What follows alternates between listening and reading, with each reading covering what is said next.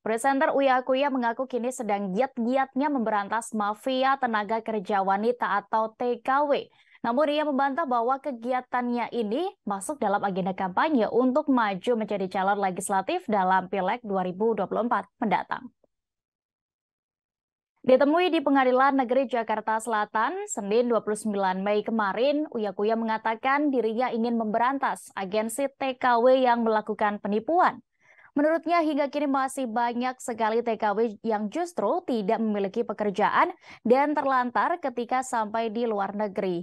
Dilansir Tribun News, satu di antara kasus yakni banyak agen yang meminta uang kepada calon TKW. Tetapi sesampainya di luar negeri mereka tidak dapat bekerja alias terlantar. Padahal para TKW itu sudah menyerahkan uang hingga 70 juta rupiah.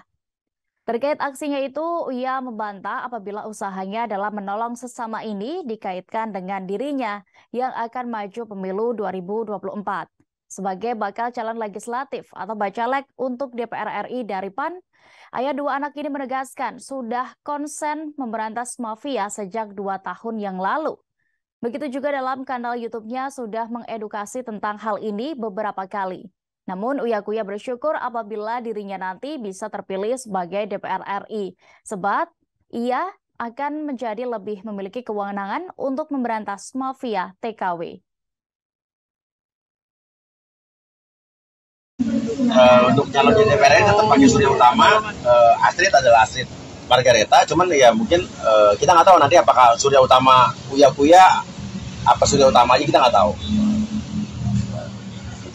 oke okay. kelanjutan ya. dari yang uh, eh, TKW gitu gimana oh iya lanjutan dari TKW kita tetap mengadvokasi para teman-teman yang ada di luar negeri gitu kan uh, sekarang kan concern saya kalau untuk yang di luar uh, negeri adalah uh, TKW TKW yang terlantar yang tidak mendapatkan haknya sekarang juga uh, banyak juga ternyata uh, TKW TKW atau PMI PMI yang berangkat ke sana tapi ternyata ditipu sama agen-agen yang ada di daerah-daerahnya.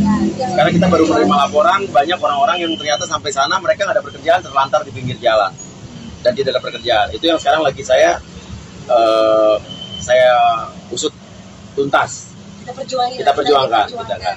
Dan juga ini uh, butuh keseriusan dari pemerintah juga bahwa uh, nasib-nasib mereka harus diperhatikan dan agen-agen nakal atau PT-PT nakal yang ada di sini benar-benar harus ditindak tegas. Nanti jadi caleg bakalan fokus ke sana. Nah, gue sebelum jadi caleg juga udah mengerjakan ini. Kebetulan ya gue jadi caleg kan baru dua bulan ya. Tapi kan gue melakukannya udah di bertahun-tahun nih, konsen sama-sama begini. Jadi justru kalau gue jadi caleg lebih gampang. Orang adu ke gue, gue di DPR, langsung gue telepon polisinya atau eh, pihak-pihak uh, yang ber Terima kasih sudah nonton.